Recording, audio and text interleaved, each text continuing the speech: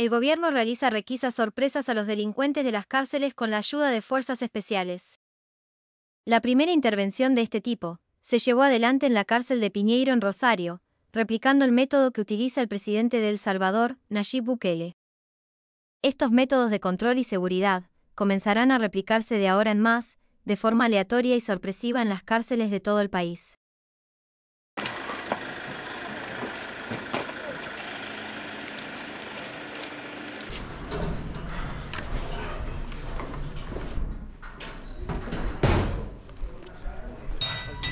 ¡Tírese al piso!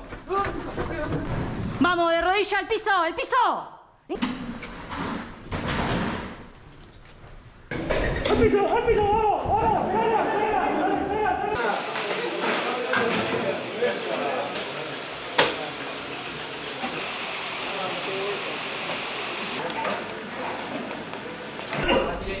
vamos!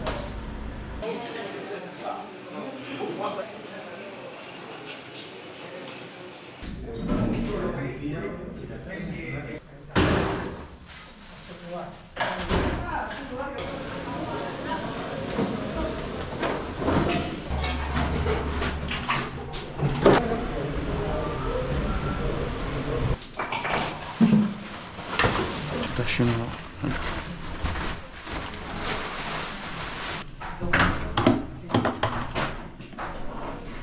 Doscientos tres.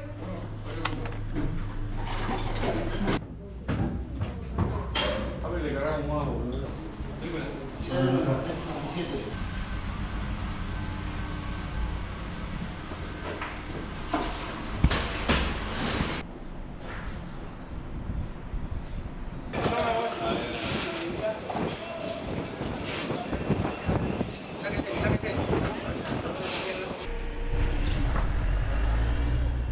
Este, hay, a, a sol- pedir hay solo lágrimas para los propios, Bueno, nunca claro. para los otros. Eso es terrible. Tres taxistas Eso en es un terrible. mes muertos, asesinados, acribillados por la narcocriminalidad en Rosario. Hoy los taxistas de duelo denunciando el terrorismo narco contra ellos como forma de visibilización social Bueno. de la problemática. Bien, en un rato vamos- sí, en Eso un- es indignante. esos son Sí, nuestros bueno, problemas. en un rato vamos eh, a presentar eh, un informe con una funcionaria de santafesina. Sí, el por el tratamiento tema a lo en Bukele, cárceles, En la cárcel sí. de Piñeiro, sobre todo, que es acaso la, impactantes las la más- imágenes, ¿eh? impactante, Muy muy, impactantes, muy fuerte, sí, sí. sí. Hay mucha gente que dice, che, los derechos humanos de los presos. Está bien, que es verdad que tienen derechos humanos, por supuesto que hay que respetarlos. Pero empecemos por respetar los derechos humanos de los que están afuera, ¿no?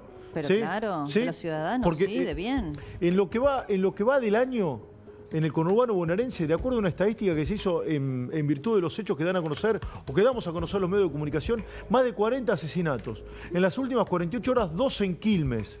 Hoy el gobernador de la provincia de Buenos Aires ¿sí? dio una, una suerte de charla con Fernando Espinosa, intendente de La Matanza. No, donde- fueron a inaugurar un Sí, jardín de infantes. Exacto, pasó Superman y la capa en La Matanza. Sí. En San Justo están todos los patrulleros tirados. Los dos dando cátedra de vida y lecciones de cómo administrar. ¿Por qué no se ponen a laburar realmente para frenar la inseguridad? Y estas son las imágenes de. Santa Fe. Sí, Muy fuertes. sí. Bueno, además, muy este, fuertes. Pelado, ¿eh? vos sabés, respecto del tema narco, por ejemplo, este, y de las cárceles, que estos delincuentes desde los penales organizan los delitos. Totalmente, totalmente, ¿qué mandan a quieren- matar. ¿Qué quieren que hagan? Por que su- les digan, señor, permiso, eh, por acá puedo pasar, discúlpeme, señor preso, por favor. Encontraron de todo en la requisa, Pero- desde celulares, facas, todo lo que se imaginen.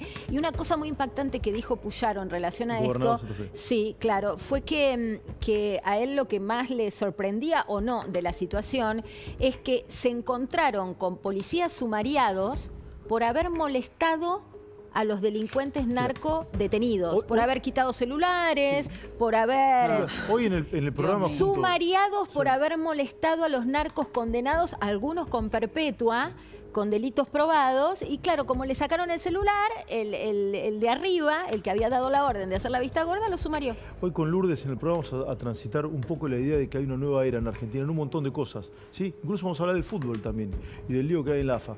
Y esto también es una nueva era. Durante mucho tiempo en Argentina hay una mirada que todavía sí anida en la provincia de Buenos Aires, observando más al victimario que a las víctimas, tratando de comprender al delincuente ¿sí? y no observando al trabajador, tratando de tener una mirada eh, complaciente con el asesino, ah, porque no tuvo oportunidades y nada para las víctimas. Te ¿sí? digo más. Esto, esto está comenzando, entiendo, a cambiar, cambiar. en Argentina. ojalá. Vos fijate que esto mismo lo hace la misma policía, porque este- el servicio penitenciario eh, de la provincia de Buenos Aires no depende de, de, de Ni de Bullrich. Esto es el gobierno radical de Santa Fe. ¿Sí? Es radical. es, Cuyat. eh, sí, dependencia directa Digamos, acá de no tiene, Santa esto Fe. no es de Milei. Pero No, hay, no una es nueva federal. era, hay una nueva lógica. Sí, hay una nueva lógica. Antes los presos, va antes, hasta ayer nomás, ¿sí? Uno, eh, el Monchi Canteros, ¿sí? tenía, eh, tenía un teléfono de línea. Guille, Guille, Guille, Guille. te- Guille. Bueno, tuvo dos veces la línea telefónica sí, en con su, cable, en su con un celda. cable. en Te digo, celda. te digo más pelado. gente. Vos recién decías víctima y victimario. Peor aún, para estos sectores no hay una víctima y un victimario, son las dos víctimas. El- el- la persona asesinada y aquel que la asesinó porque es víctima de una sociedad que un verdad, horror, víctima y una sola, señores, víctima es la persona que quedó este, sí. en el camino como consecuencia del accionar de un delincuente. Y eso no es solamente la clase política, es la justicia, un sector de la justicia. Totalmente, los zafarones de la vida. Totalmente. A mí me harta bastante esto de, ah, no tuvo oportunidades.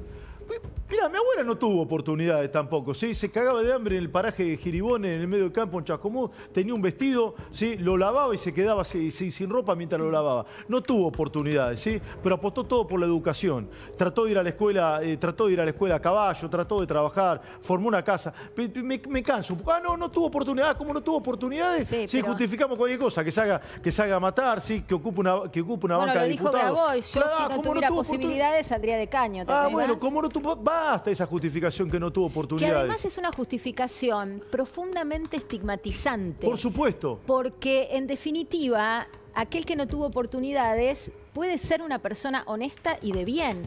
Es la criminalización de la pobreza, decir que está justificada en la falta de oportunidades. Y no es verdad que los Sí, pobres a- son y- no, y delincuentes, además por definición. hay no es muchos hechos de inseguridad que están cometidos por personas que no precisamente vienen del mismo origen social. Por eso, no es verdad. Estigmatizan la pobreza al decir eso cuando pretenden rescatarlos. ¿no? Bien, vamos a hablar bastante, vamos a hablar bastante de este, de este tema en el transcurso de la tarde y